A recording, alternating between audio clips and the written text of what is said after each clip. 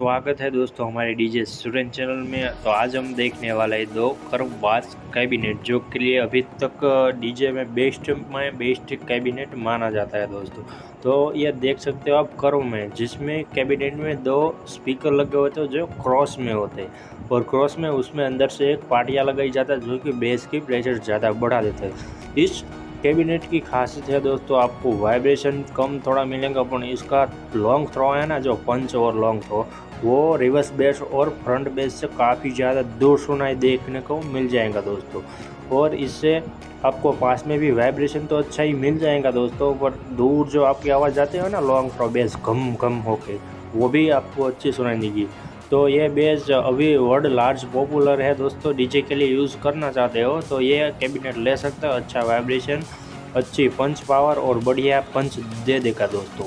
और इसके अनेक फ़ायदे दोस्तों स्पीकर की लाक्षणिकता बढ़ जाती है दोस्तों इसमें। और यह दिखने में डिज़ाइन में काफ़ी अच्छा और बढ़िया लुक दे देता है दोस्तों। और यह बास की खास बात यह है कि यह लॉन्ग थ्रो बहुत देता है आपको लाई में चलाना है दोस्तों ओके तो लाई में भी अच्छा यह पंच दे देगा। अच्छा बहुत बढ़िया चलेगा दोस्तों लाई में। मैंने भी यूज़ किया है और मेरे पास जो भी बास है J V L S R X type जो, वो मेरे करवा बेच ही दोस्तों। यूज़ करना है डीजे में। तो हंड्रेड एंड टेन परसेंट दोस्तों, विश्वास करके आप करवा ही लीजिए। दोस्तों, आप रिवर्स बेज लेंगे तो रिवर्स बेज में सिर्फ़ जो वस्तुएँ है, उसके ऊपर वाइब्रेशन आएगा और आपको महसूस होगी।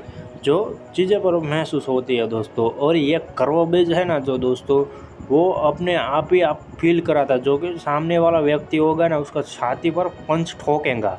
उसको फील होएगा ना ना बेस बज रहा है।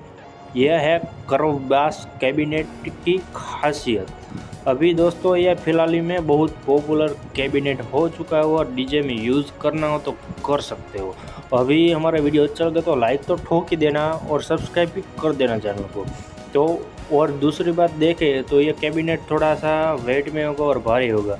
इसमें डबल एटीन ड्यूल स्पीकर लगेगा और दो दो हज़ार को वोल्ट का स्पीकर लगाइए, बढ़िया रिस्पॉन्स देगा ये कैबिनेट मैं यूज़ करता हूँ, कोई सामने नहीं खड़ा रहेगा दोस्तों हंड्रेड एंड टेन परसेंट करो बास कैबिनेट